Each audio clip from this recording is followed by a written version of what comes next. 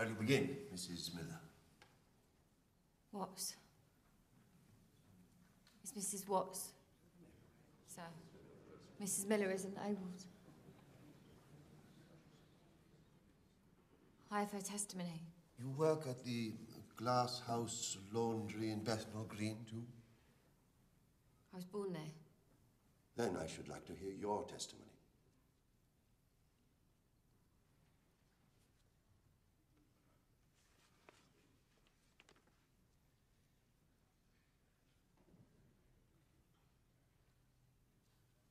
I don't know what to say.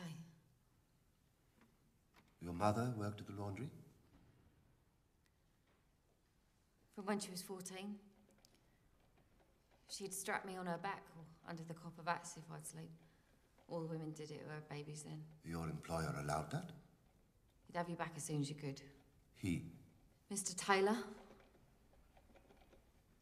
And uh, does your mother still work at the laundry? She died when I was four. I see. Fat tipped. Scolded her.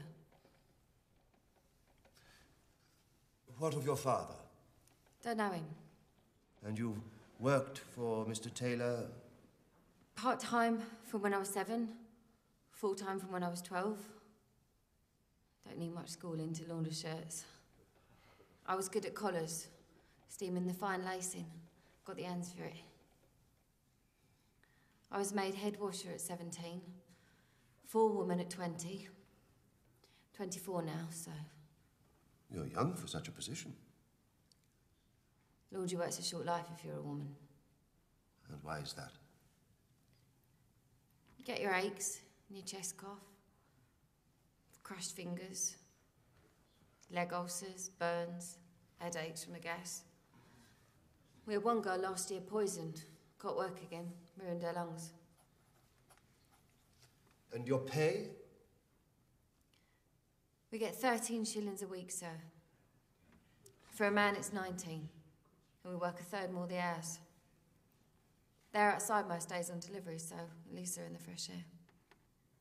What would the vote mean to you, Mrs. Watts? I never thought we'd get the vote, so I've never thought about what it would mean. So why are you here?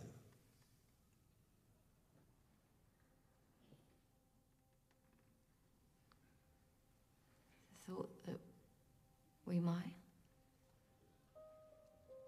That this life. That there's another way of living this life.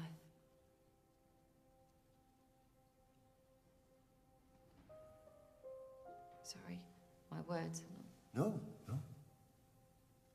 Finest eloquence is that which gets things done. Thank you, Mrs. Watts. I believe we have all that down. We shall have a response for you very soon. An amendment to the bill might just force the change towards the vote.